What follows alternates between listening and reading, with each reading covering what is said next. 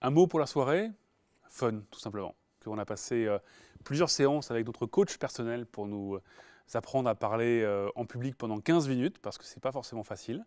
Et c'était vraiment, vraiment à la fois intéressant et puis dynamique, enthousiasmant. Je recommanderais à un très bon ami ou alors à mon pire ennemi. C'est vrai que ça demande un peu de temps de préparation, au moins 5-6 demi-journées, mais on peut le trouver, ça se trouve, et ça vaut la peine.